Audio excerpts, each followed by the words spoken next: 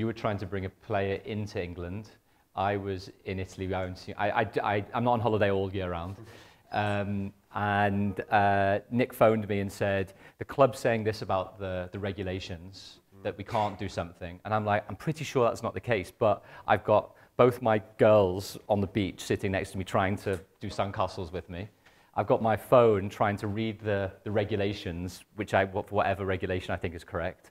I've then got to phone Nick back to go, actually, I think they're wrong, which you've got to be very careful about saying a club's wrong or to try and solidify the, the relationship they've got.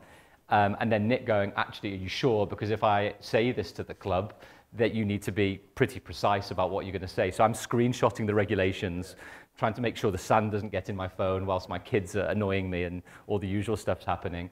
And then, unfortunately, the deal didn't happen, but what it meant was is that the, I think I was right in terms of what the regulation said, which actually yeah. helped the club yeah.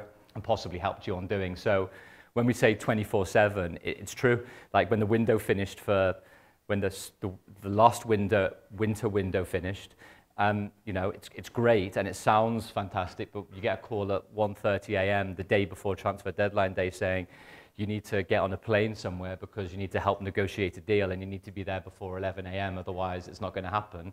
It's great and it sounds fantastic, but the truth of it is, I can only speak from our experience. I don't want to put you off too much being sports agents and the rest, but it's pretty pressurized, is the truth as well. You've got to make sure you get it right, because if you don't, um, then in a way, because a lot of the things are so public and are relatively high profile in nature, you know, doing making sure that you have faith in your own ability to to do things and are responsive enough and can be proactive enough, can do all the things you want to do, makes it a little bit, you know, altogether can make it a little bit tricky. Mm.